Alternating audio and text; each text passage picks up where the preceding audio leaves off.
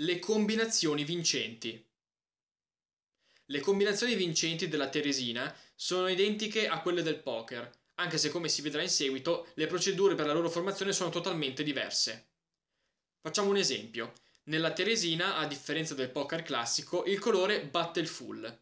Per esempio, il primo giocatore ha un full composto da un tris di 8 e da una coppia di re. Il secondo giocatore ha il colore formato da 7, 9, jack, re e asso di cuori. Facendo conto della, della gerarchia dei semi e soprattutto delle regole della Teresina, il colore batte il full.